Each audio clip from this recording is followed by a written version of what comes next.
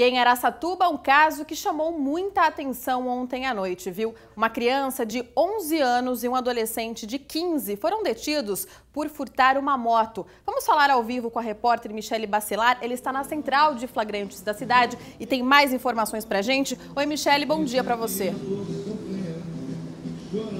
Bom dia, Jéssica. Bom dia para você que acompanha a nossa programação ao vivo. Uma ocorrência bastante inusitada aí, né? Essa ocorrência foi registrada lá no bairro São José, na zona norte de Araçatuba, quando policiais militares faziam um patrulhamento de rotina pelo bairro e viram os dois garotos andando de moto. E nenhum deles usava capacete. O condutor da moto, que era o adolescente de 15 anos, percebeu que estava sendo seguido pelos policiais, perdeu o controle da direção, bateu em uma árvore e o menino de 11 anos acabou se machucando levemente aí nessa batida, foi levado para o pronto-socorro, medicado e liberado. Depois disso, os dois garotos foram trazidos aqui para a central de flagrantes, junto com os pais, e prestaram depoimento. Eles contaram à polícia que furtaram a moto usando uma chave micha, mas que a intenção deles não era furtar o veículo, mas apenas dar uma volta. O dono do veículo foi identificado, ele também esteve aqui no plantão policial e disse à polícia que nem tinha percebido que a moto havia sido furtada.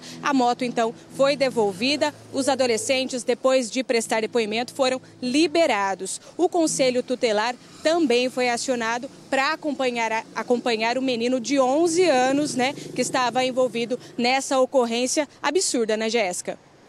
É, duas crianças, né, Michele, envolvidas aí num crime, né, numa ocorrência realmente, como você disse, inusitada. Obrigada pelas informações, ótimo trabalho.